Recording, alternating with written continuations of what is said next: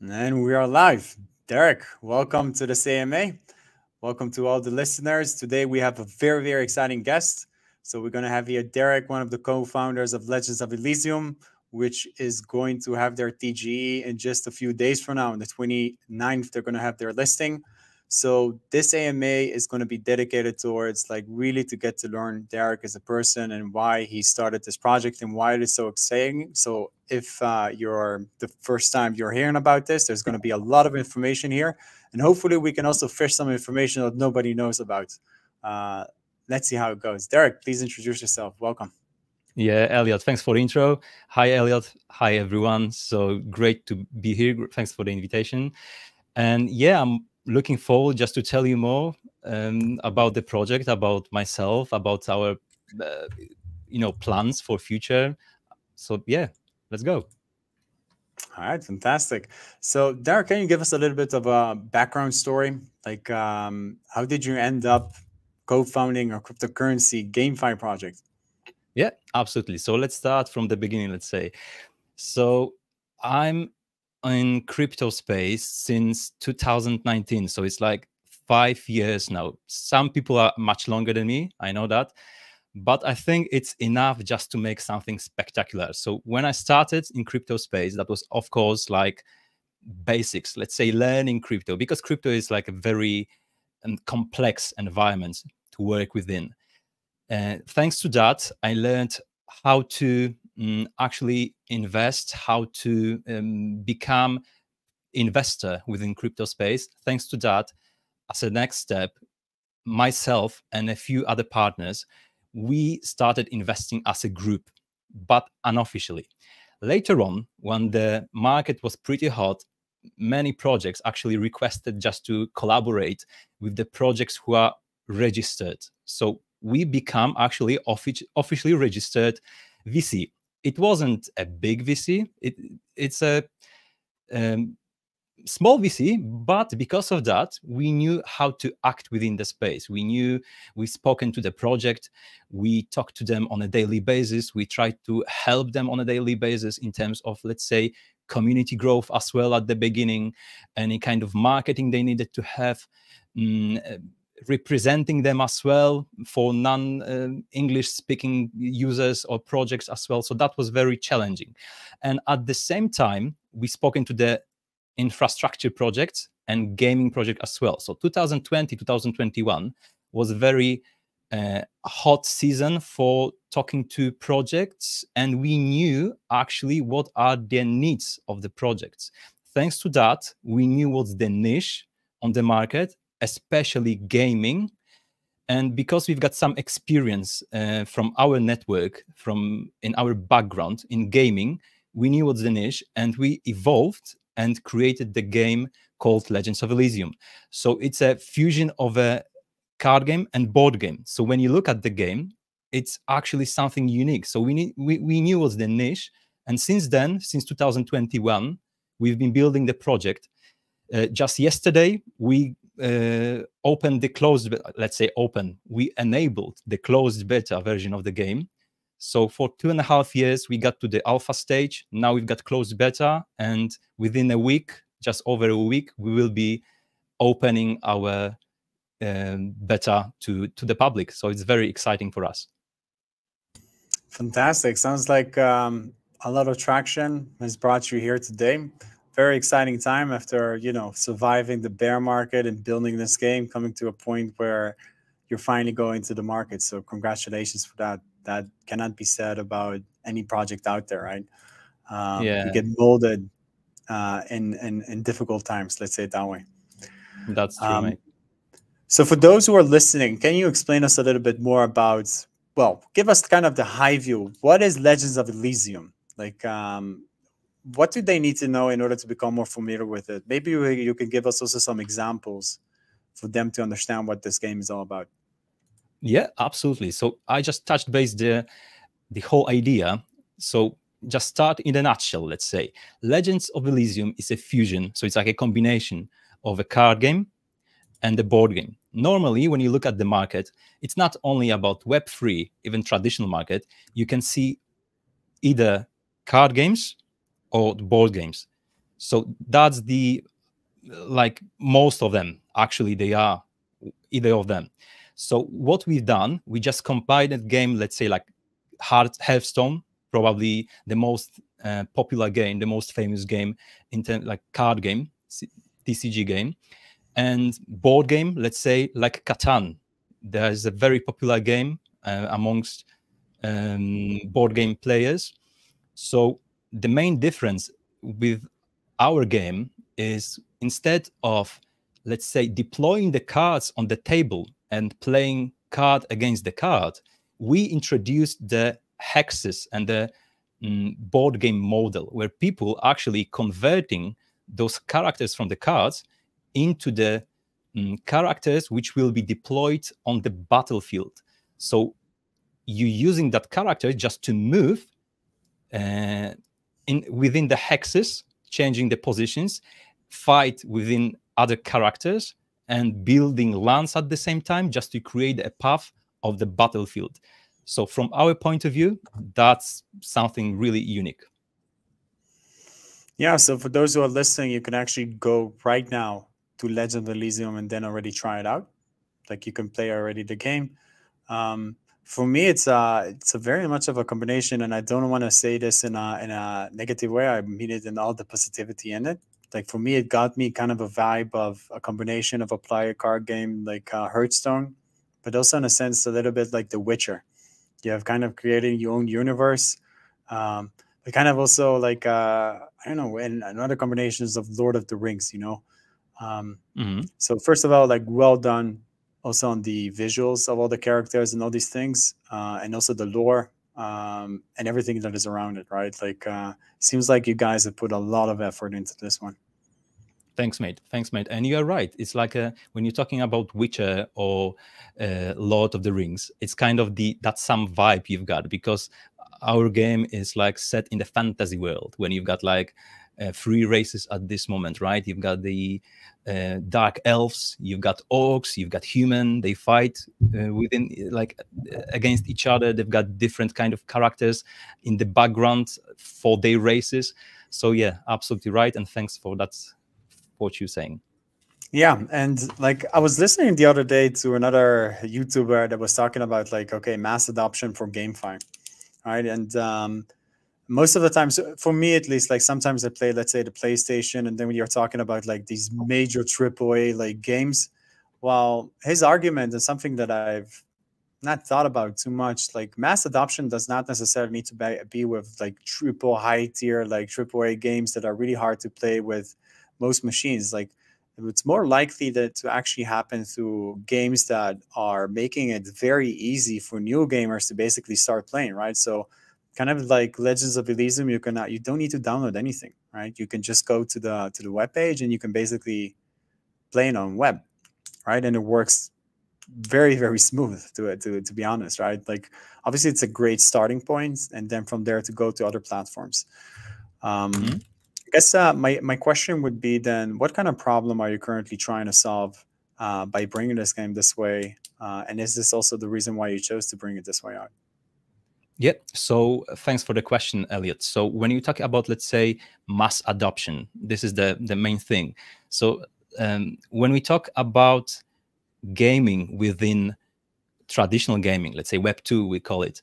Uh, you've got so many gamers, you've got so many users. When you go to Gamescom, let's say the big gaming events, people actually buzzing there. You've got so many, you've got some stands of EA games, Blizzards, and people are crazy just to stand like two hours just to test one game. So that's the proper adoption within like traditional gaming. But for Web3 gaming, we're still awaiting for that special wave just to have people not only related to crypto, to blockchain world, but we would like to, and we are actually doing that, inviting users from traditional gaming and directing them towards the projects like ours to test something different. So let's say what we are actually solving. So the, the main thing is that we doing like a frictionless onboarding of traditional um, of Web 2 users into Web 3.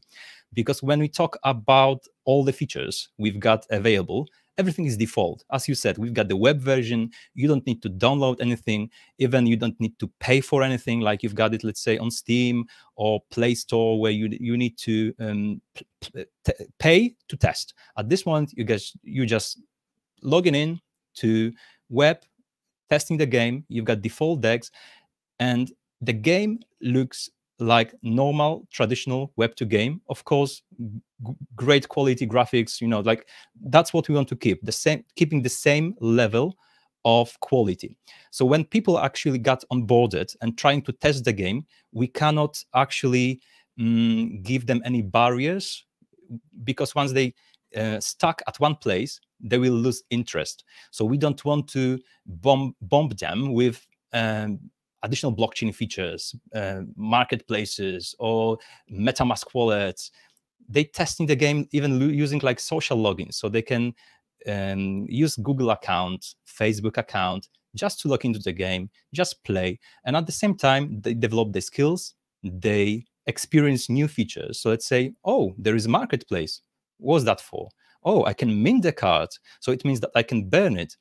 But what does it mean burn? Okay, it means that uh, I can actually the card can disappear. But what is minting? Minting. Oh, it means that I can have uh, something on blockchain. So it means that I can actually own this NFT for myself and I can sell it later on on this marketplace. So there is like a baby step by step procedure. Yeah, that makes a lot of sense. Uh, thank you, Derek. Um, can you tell me a little bit more about the moment that you really decided that you want to go full into crypto? So before the communities, before the game, what was for you like? How did you actually find out about this market, and how? What was the moment for you that you thought, "Aha, I really want to do this full time and leave whatever it was that I did before"? Ah, the thing is that I, when I started, I never thought that I will get to the place where I'm at this moment. I thought that I will be doing what I've been doing in the past, and then at the same time, I will be doing that as an additional, let's say, activity. But as you said, when you experience crypto, when you when you actually into crypto, there's not like additional or um, like a part-time job um, thing. You're you're getting addicted straight away because uh, you've got so many ways of develop to, to develop uh, in terms of let's not only trading, but you've got so many aspects like infrastructure, gaming. Uh, you've got so many industries within that Web3 industry. So that's very interesting. And people can find their own cup of tea and just try to stay, stick to it. So, yeah, so that was in 2020, I would say. So that was the time when I realized that I want to stay full time with blockchain area. Yeah, that's super interesting. I, I had the exact same uh, kind of experience coming into the market in 2016. I I didn't know about magic internet money. Like I, I mined Ethereum, and that's when ERC20 came out and all these ICOs. And then I realized this is not just about like uh, revolution of payment systems and like store of value and these kind of things. That we like back then there wasn't a term like uh, Web three that didn't exist. Like that is something that we have defined afterwards, right? But back then, to really realize what it means to be Web three, where all these um, all these tokens can be actually operated within different economies and different incentivization protocols and mm-hmm. these kind of things, and what kind of infrastructure is going to be built there. That was for me also the aha moment. It's so much bigger than what we think, right? Like, uh, and working with all these entrepreneurs and people that are uh, really like building the future that's for me at least like what's the excitement right with working with people like yourself uh, yeah, so thank you for that derek no worries. So actually, I would just add something to that what you're saying. So there are actually a few reasons why people want to get into crypto, like into blockchain. Investment point of view, that's one. The other one can be, that's as you said, Web three. So which is like write, um, read, and own the own aspect is something unique for people which could be for some people privacy aspect very important as well. Some people of course take um, out most of it for uh, the good things but we are still at the early stage so we just need to um, build that space just to make it better for everyone not only for og's yeah. Definitely. Makes sense. All right, what's your current sentiment in regards to the market? Well, I used to ask this question to a lot of uh, founders like a year ago and 14 months ago. Um, so it's interesting to see how things have uh, kind of changed in the past uh, year. But still, like, how, how are you feeling about the market there? You asked me at the beginning, uh, like you, you mentioned that that we've been building through bear market conditions. So 2021 and yeah, 2022, beginning 23. So that was like a deep, deep bad market conditions. And if you had asked me then what was my approach, I would say there's it's not important. You know, we're building. That's the most important aspect. It's pretty quiet. We're doing what we need we need to do, focusing on the development. And from the other point of view, that was really helpful because we could really concentrate on development. Um, we got great uh, supporters of our project, like ambassadors as well, who are actually supporting us till now, all the time. So, like a proper foundation. So, that's the benefit. But at this moment, we are happy with the market that recovered because the PR of the whole blockchain crypto space changes not only for people within the Web3, but for the people for the outside. So that's very important. If we're thinking about onboarding other users, other people, market needs to be on our side as well. Yeah, for sure. I mean, let's be honest. I mean, the hype is attracting um, more users into the ecosystem. More users is attracting um, obviously like VCs and these kind of things, which bring capital. Capital brings uh, more builders because now you know you have investors to to invest in these builders. So um, definitely, it's good for all of us, right? Like as an industry, when things are hyped up and um, and just the market is alive again, right? And specific also for me, like this is going to be my third bull run. Um, and seeing the differences like right now like it's it's starting to get really really crazy but also very very exciting and i think that's something that has really changed in this bull market and compared to the other ones is now you have like the etfs you have blackrock uh, coming mm-hmm. out with saying something like uh, stuff like uh, hey we're gonna now invest heavily in uh, rwas and these kind of things right so it really feels for me at least like this time is different well no it's a kind of um, double-edged sword there uh, but let's see how it goes. So definitely, I think this timing for you as well, it couldn't be better. Like uh, really, like uh, maybe in two months from now, it's going to be even higher. But uh, it's fantastic to see that uh, you've come this far. Um, let's let's shift over to our discussion in regards to the token because obviously when um, investors that are now buying it through launch pads and afterwards on exchanges, they're not buying equity within the company. They're buying basically the utility tokens of Legends of Elysium. Can you explain us a little bit more um, what kind of benefits uh, they will get? Um, and potentially, you know, also for the speculators, if they're holding it, why should they expect um, to be to other users to to use it? Let's say that mm -hmm. way. Yep, absolutely. So, like from the nerd point of view, the tokens actually giving you it's one of the utilities to write to help to actually have impact on future development. So let's say when we talk about the proper development point of view, by holding a tokens, we will be voting as well on the future development. So let's say if we uh, will be deciding what will be the next race or the next board that we will be implementing to the game we'll be asking the community. So that's the main important uh, the, the, the, most important aspect for us because whatever we've done at this moment in the past during our development we've been trying to um, hear feedback from the community because it's important. Of course it's not always right but without listening to the people who are actually users of your product, you are not alpha and omega. You just need to listen to what people want to have. So tokens will be giving you an, a chance just to have impact on that. However, in the game itself, the token will be giving you a chance just, of course, generate some additional uh, benefits that's important but at the same time adjusting your strategy so let's say we've got features like mine which is a, a kind of a vault as well so people will be able to log their tokens in those kind of vaults and at the same time adjust the strategy during the battle. So that's one of the features I can mention about. Let's say other aspect is staking as well. So people will be able to stake the token.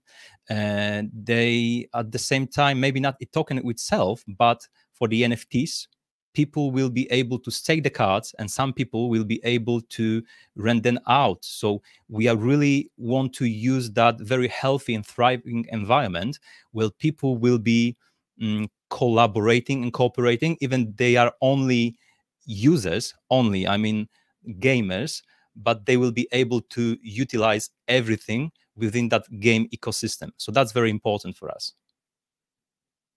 how will the user uh, get more cards, like stronger cards and these kind of things? This is also the idea that we'll be able to build their own decks and then, you know, like uh, buy packs and then build up like, uh, or is every race, they have their own fixed amount of cards that they are getting basically they're randomized? So for the cards itself, people will be able, actually starting the game, you've got the default deck. So you starting playing for free actually However, just to um, become person who is more into that game or want to, as I said, adjust their new strategies or they need to generate different kind of profits, become stronger, there will be always an option uh, just to purchase like card packs.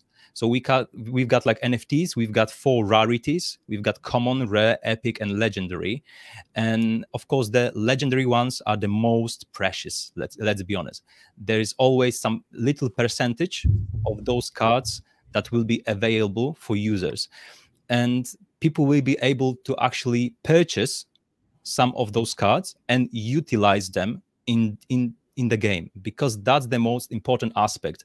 Not creating the card itself just for the sake of having nft on your wallet is just actually the having the card or any kind of nft, NFT asset which will be utilized later on within the ecosystem. So mm-hmm. just one more thing let's say about the mm, store as well. That's going to be in the form of nft there will be let's say tickets where people will be able to buy a ticket for the tournaments. So that's the same thing. You're going to own it by purchasing something, let's say, um, and holding it as a um, blockchain asset. Mm-hmm. Makes sense. Yeah, thanks, Derek. So would users that are let's say want to purchase like these packs and stuff is that just going to be like can they also use that to the tokens or is that just like on a different payment method? Uh, when you sorry could you rephrase it so if I'm holding the the tokens, right, I can stake them and then mint like other NFTs. So you're basically saying that people that hold the token that will have like extra benefits basically within the game and easier access to basically upgrade their own experience uh, and their own deck and you know cards within the game. Mm-hmm. So when you talk about the NFTs itself only, so you can stake the NFT. Let's say when you've got your strategy and you've got your own deck, and you purchased or even uh, won because you can win the cards as well. You can gain them. It's not like only you need to purchase them. You can of course mint them by burning the cards. You just make you can create your own new cards as well. So it's not always the purchasing but at the same time we're giving the player the option just to stake the cards so people mm-hmm. by staking the cards the nfts the, they've got option just to generate some profits uh, from the staking pool. So they will be having some rewards by having that. And at the same time, people who are actually doesn't uh, who wants to have like a specific card, they can rent out that specific staked card, which is already staked, for a specific period of time. Um, and paying the renting fee. So they will be paying that in our native token. So you've got always the utility of the token, and at the same time, uh, it's combined with the uh, NFTs and cards. Makes sense. You mentioned like um, you mentioned that like uh, when is the main? Let's say the game is is really going to come out in a sense that it's going to open up for everyone. So it's not in a beta phase anymore. Like when do you think that's uh, kind of planned for? Right. So the game was has yeah was available for one and a half year, let's say as an alpha, open alpha. At this moment, we've got access only for whitelisted people, like proper OGs, people holding uh, Genesis NFTs, and people who got won some quests in the past.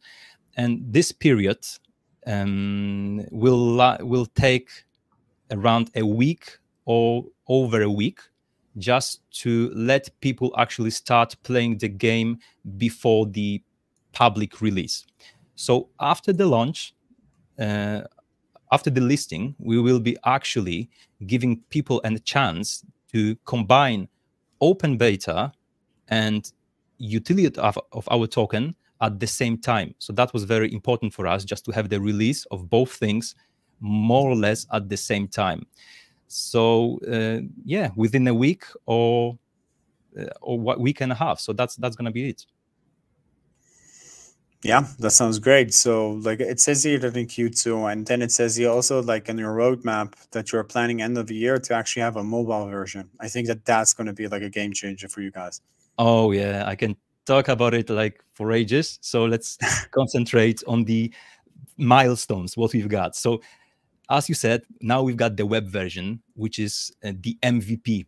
So let's call it, let's say open beta will be our MVP. Later on, the most important aspects for us, just to get the full version, will be enabling the esports tournaments where we'll be having spectators like sponsors, people will be uh, purchasing tickets, there will be rewards, well, uh, proper streamers, well, people will be invited to our ecosystem just to play um, proper tournaments, esports tournaments on a monthly basis. So that's very mm-hmm. important for us just to enable that feature. Later on, we'll be concentrated always, almost all, uh, as well on enabling guild wars feature. Well, we will be inviting guilds to bring their own communities and having kind of challenges within our ecosystem. So that's very important in terms of adoption and exposure as well within at least blockchain ecosystem. And hopefully we, and we of course will be aiming to the guilds from the outside as well just to let them check it out actually. So that's for the full version of the game. But as you mentioned later on this quarter four we will be starting working on mobile devices because countries from southeast asia uh, africa they use mobile devices all the time. And at this moment, that may be a bit difficult for them to access desktop devices. So that's why we are concentrated on delivering mobile devices later this year. And switching to desktop devices will be very easy after we've got the mobile devices. And then having exposure on Steam, on Play Store, Apple Store will be just a matter of time yeah really exciting like for me as well like um i would definitely play it on on the mobile phone rather than mm. like on the desktop it's just like uh, i don't know a thing with these kind of games. So um definitely looking forward to that and everything that you guys have in the pipeline. Again congratulations derek. Uh, let's shift over to some uh, last questions in regards to the token launch maybe. So for those who are listening you still have no, you still can uh, register to the whitelist on on Decubate. Um, but for the other listeners that are not here from Decubate, you should also know there is also the, the IDO on GameFi and also on AI Tech. So also a lot of great platforms that are co-launching with us. And then the token listing is going to happen actually on the 29th. So, so that's actually going to be in three days from now. Um, for those who don't have a Decubate account, not going to show too much, but you can register, have our free base here um, and try it out. But we also have our great learn to earn. So if you have listened to everything that Derek had said, hopefully you now have enough information to answer the learn to earn and earn some free tokens from uh, the marketing pool. Uh, so good luck in that. Yeah, we've got the campaign, Elias, right? So that's gonna last for a month, let's say. Yeah. So guys, just check it out, please. Yeah. So even those who are listening to this after the TG and you think, ah, oh, I missed out, you still have 30 days after the TG even to uh, to learn about the project and then to answer some questions and earn some tokens. So, uh, Derek, is there anything that you can tell us? I know I'm not gonna. I hope I'm not putting you on a spot, but is there like uh, something that you can tell us in regards to the token list, like token listing, or anything that you can disclose today? Um, if there was a secret, I would. It would be it would be very difficult just to say. However, once I said about the open beta of the version of the game, it's not just releasing the open beta. We will be having some quests, let's say. So we're gonna treat it as a phase one of open beta. So anybody interested in actually checking out the game, you, you can check the game, of course, but if you stay a bit longer, you may find yourself in the position where you'll be actively taking um, part in some kind of quests and tasks if you really want to. And at the same time, you're going to get rewarded by helping us in testing game on mainnet as well. That sounds very exciting. So you heard it here first. Uh, a good Easter egg. I'm going to shift over to yeah. some of the community questions. So we got a lot of questions actually from our community, and we made some great selections. So yeah, um, Onat, the one and only. Always great questions here, man. Um, sure. So yes, I actually asked um, a good question I also have. Entangle is a project that launched not too long ago uh, on the market, and they did like uh, I don't know, like 100x, something like that, really crazy. Um, we have seen that they are also partner up with Legends of Elysium and some very very nice cards that they're bringing out. Can you tell us more about that partnership and what's what's what's the nature is of that partnership that you have with Entangle? Yeah, absolutely. That's very important for us. Uh, when you talk about the kind that kind of partnerships, we issue special cards for the our most valuable partners, where we actually enable users to get some additional benefits or rewards by owning the cards. So for the entangle, that's a one case, but at the same time with the entangle, along alongside the entangle, we've got NFTs like cardbacks, let's say. So when you look at the NFT entangle and let's say card box, which we had for different and other partners, you will be able to use those specific cards into game ecosystem. So let's say by holding that on your wallet account and by playing the game, you don't need to use our default settings, let's say. You will be able to uh, just customize the settings by having the NFTs which you hold on your wallet.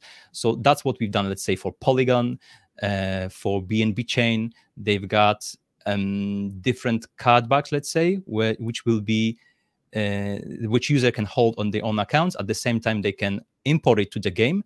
And probably in the future, there will be some benefits out of it. But of course, it's really just to promise anything. Thanks for that, uh, Derek. So, uh, Orna has actually also asked a few very interesting questions. Some of them already been asked uh, or answered. Um, other plans to work with uh, Twitch uh, live stream promoters and uh, actual gamers to try to attract um, some of these, let's say, Web2 gamers into the Web3 space and specifically for Legends of Elysium? Mm-hmm. Yeah, so that's very important for us. So when we talked about, when we spoken about that tournaments and streamings, we will be trying to have our own platform within the ecosystem where we'll be streaming the game during the tournaments, let's say, because playing players versus players is fun, but at the same time, we want to maintain um, great playability and let people watch the game, you know, like you were watching football, let's say. And that's what we were planning to do finally, just to get within our ecosystem. But at the same time, um, before that, we will be approaching um, our partners, let's say, probably games like old Polkastarter Gaming or maybe some uh, partners already which we've got like elixir games which they've got great great great um, community just to test the game out and do some streaming as well. But in addition to the to partners we will be definitely approaching the proper streamers uh, just to let them test the game so that's the one thing and as a second point, promote the game. So that's very important because that means exposure. Makes perfect sense. Uh, Derek, I was actually taking a look at most of these questions and I realized like you have answered so many of them. Uh, but I did find another great one. Good. I'm to put it now on the screen. So, okay, board. Oh, yeah. by the way, for the listeners, like I see a lot of questions coming in on Twitter, on YouTube, and also on Twitch. Like, if you have more questions after this um, couple of more than I'm asking Derek, yeah, now is the time to put them on the chat. I'll take a look at all of them. Um, so yeah, here we have a question from uh, Make Keyboards.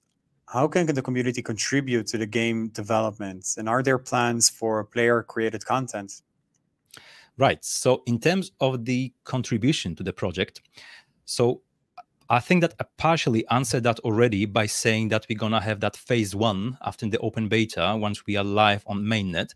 So we will be um, testing we at the same time the game game will be live as an MVP, but it's still beta. It's minimal minimum valuable product MVP. So at the same time, we'll be introducing new features and new solutions. So it will be very helpful for us if people help us uh, on a daily basis. So by having by completing quests, which will be which will be helpful for users, it will be like a guideline for them.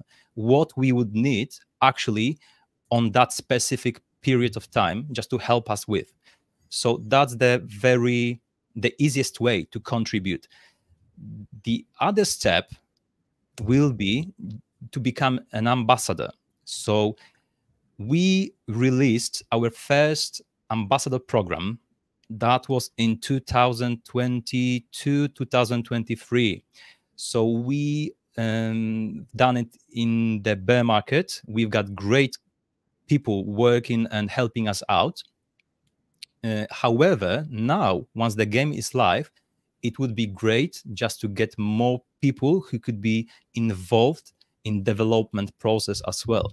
So don't want to say too much at this moment, but probably within two to three weeks, we'll be releasing the article about the ambassador program and people who are really into gaming and want to contribute. We will be more than happy just to discuss with them the the, the other steps.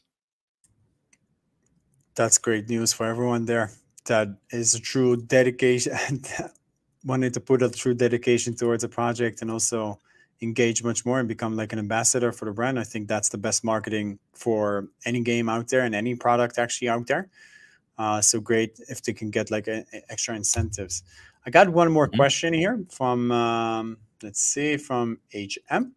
So he basically asks why you chose to go with Matic instead of other alternatives. So for those who don't know, Legends of Elysium is going to mint their token on Matic Polygon. Um, why did you choose for Polygon? Okay, so I'll try to do my best. So in 2021, when we started to uh, when we started to build the project, um, Polygon was one of the most uh, popular blockchains and I would say maybe reliable as well and the cheapest transactions fees as well. Because when we talk about all the interactions within the game, we cannot have uh, transactions which are actually killing the benefits that you already generated. So Matic was the option where we could um, utilize it. That's, that's, that's the first thing. Second thing, that was the EVM compatible. So uh, we knew that we will be building the game uh, in uh, writing the smart contracts in Solidity. So Matic was the one of them that was definitely for us. We got support from Matic as well, from Polygon uh, Studio as well. So we've got the agreement with them when we started building the project and actually that was the reason why the, th those three reasons these three reasons uh, are why we choose the polygon probably now from this perspective people could say that okay you've got arbitrum now or you've got new chains that you mantle that you can build on. Yeah that's really true. That's really true. However when you're building in 2021 and you are at the beginning and you want to have reliable and the most mm, uh, sufficient blockchain, that's that's the most important aspect for us. At this moment three years later it's always easy to say you could choose differently. But we are happy with what we've got. It's uh, solid it's reliable it's cheap and it's for gamers and for users. That's perfect answer for me. Yeah makes a lot of sense. Well we are welcoming you as our first polygon projects uh, project on decubate and definitely um, definitely see the efficiency and everything there. Um, let's go for, so I'm going to pick up uh, two more questions depending on mm -hmm. how many I will see. Derek, I really want to thank you for your time so far. Really amazing answers. Um, so how do you plan to ensure a balance between free-to-play mechanics in the game and financing options? Now, obviously, this is like a question in regards to, okay, how can you make sure that people who are buying uh, a lot, whole lot of tokens um, don't have like a pay to win kind of condition, mm-hmm. especially if the tokens does really really well and people are getting like very early on. Um, for me, that's a big que- that, that's a great question by the way. Yeah, it is. You. It is. Yeah. So thanks for the question. So the answer will be the holders on people who are let's say got bunch of money in their pockets they're not the users that they can have impact in the game itself. Of course, speculators on the exchanges, by having a big bug, they can change the price, of course.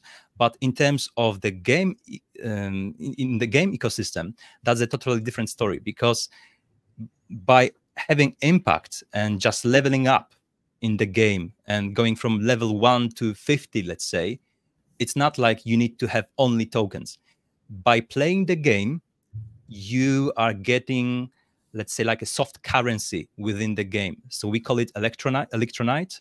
So it is that soft currency which is only in-game currency which will be allowing you to go to the next step. So it means that if you don't play enough in the game in the game ecosystem you won't be able to progress that quick because the token only won't allow you to progress quicker, just to generate uh, higher rewards. You just need to be a gamer. You just need to be a player, uh, just to be fair to others, and at the same time, um, not generating too big profits just because you are rich.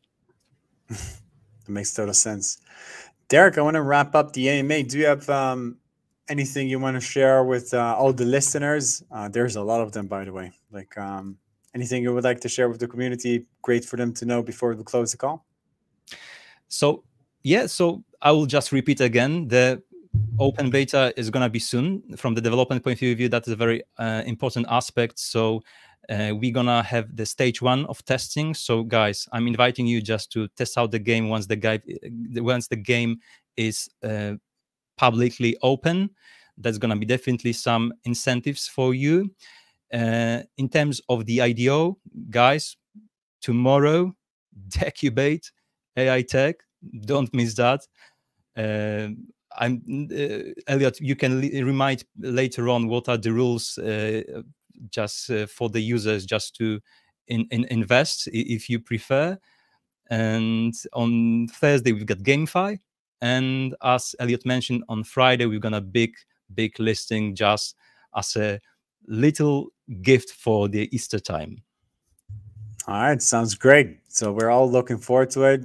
Uh, like you mentioned, Derek, I really want to thank you and all the listeners and all the great questions from our community members. Uh, there's been so many great questions here, like literally have a list of hundreds of questions. So thank you so much for being part of this community, uh, for your time being with us during this AMA. You guys are making this happen. All of you uh, make it worth our while to talk about this also live um, yeah, super, super exciting times, not just for Decubate, but with Legends of Elysium and everything that we are building. I'm super proud of everything. Derek, again, thank you so much. I'm uh, I'm really looking forward to this collaboration, not just up to the IDO, but really also beyond. Um, definitely going to play uh, and support you guys whatever whatever it is that you need in order to succeed. Thank you so much. Thank you. Much appreciated. Your help is very valuable for us. I appreciate it. All right, everyone. Have a great day, morning, evening, wherever you are. Have a great one. See ya. See ya, everyone.